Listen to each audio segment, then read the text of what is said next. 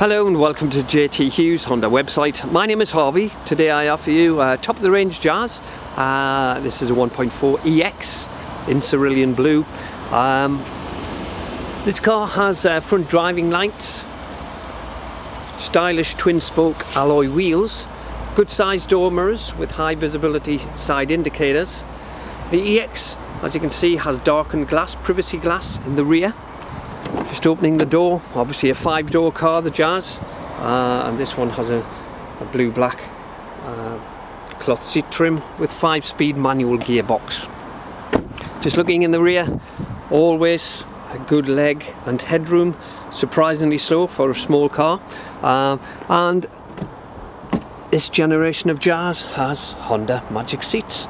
They just lift up like cinema style and then very very easily you put them back and there we have a flat load space completely flat in the rear.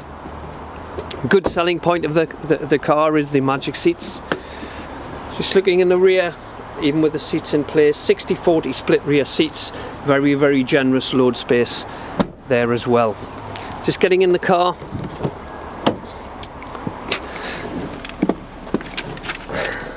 plenty of specification. All round electric windows safety switches for the doors and the windows vehicle stability assist and uh, those door mirrors are electrically heated operated and have a power fold back facility. So at the press of a button out they go and another press and in they come. Yeah very easy. On the steering wheel cruise control uh, standard feature twin information computers which tells you miles per gallon average speed etc instant miles per gallon. There we have all of your audios at your uh, controls at your fingertips. This car benefits from uh, auto headlights and again auto wipers just looking in the center there we have digital climate control. Um, this is the advanced air conditioning where you can actually se select your temperature as you see there uh, and just put it on auto and the car does the rest.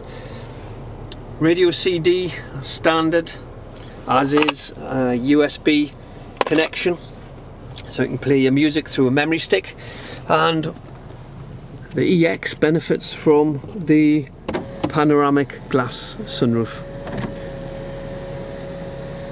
so just coming across there automatically is the blind which closes your car in again and obviously to lighten it just open it up again. This car's done 31,000 miles just short of 32,000 miles from new. Uh, good value EX not many around at this sort of price um, with a good service history also. To find out more contact myself Harvey here at Telford uh, all my colleagues Adam and Oliver.